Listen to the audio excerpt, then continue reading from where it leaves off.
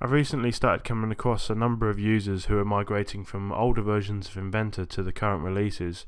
This generally has come about, it seems, um, as a result of Microsoft ceasing support for XP, um, which means that, and combine that with these older versions of Inventor not being supported on later operating systems, they're having to upgrade.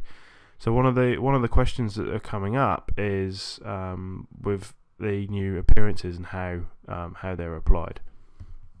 So I thought I'd uh, do a quick rundown. So we've got a number of different um, ways to apply appearances in um, the Part environment now. You've got faces, um, and holding down Shift and then right clicking allows us to use our selection filters. So we've got faces, and then we've got features, um, and then but then we also now have bodies. So I've got a, a solid body here which is made up of two features and another body here. For whatever reason interestingly it's not selecting it but we have two two bodies in here. So one and two. And this solid body here is made up of this uh, revolution. Okay so just going back to um, faces and edges we can now highlight a face and click this appearance drop down and select a different color. And equally we can do that and we can do this over and over again. Now these are known as um, overrides. Okay, so uh, the default setting is for the appearance to be applied based on the um, material that's set. So if you do have overrides, there is a way of clearing them. There's this little button here, clear, and you can select all or you can select individual um, individual faces. So just as a an example a second I'll undo that and I'm going to change to my feature um, instead and I'm going to select the red. So now the entire feature is red and this one here is instead of selecting the feature I'm going to select the body.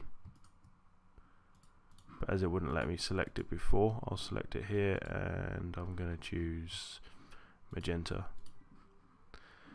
Okay, so we're going back to the clear tool now. We can um, either select all, and it shows me that there are three overrides in exist um, that are available to clear, um, or I can select again using my selection filters.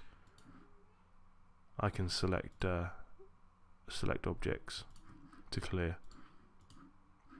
So in this case, I'm going to select all because if I don't if I don't clear these then when I change the material um, let's pick say wood then um, the overrides take precedent. So I don't want these overrides to be there. I want it to all look like white oak. So I can clear select all and hit apply.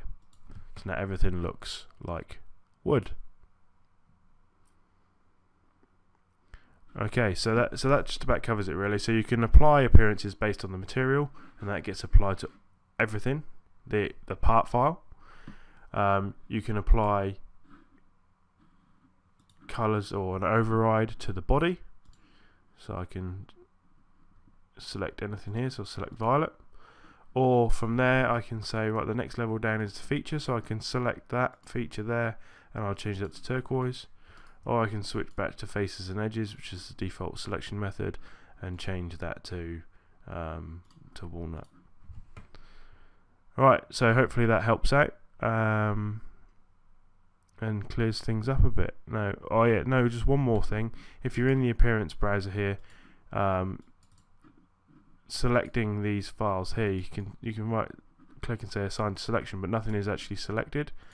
So I can select a face or I can select if I come to the edge uh, you can see that it's actually highlighting the entire body.